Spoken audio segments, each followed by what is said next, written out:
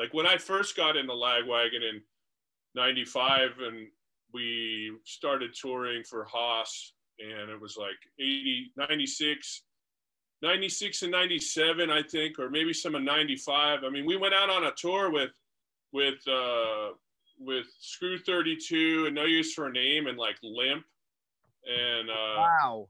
And it was uh, Chris was still in the band playing guitar. He hadn't gotten into Foo Fighters yet.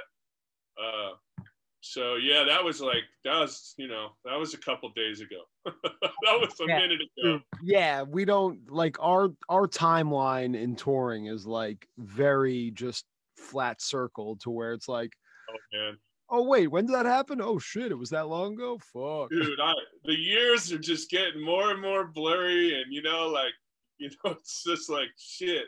Sometimes I don't even think I want to acknowledge the timeline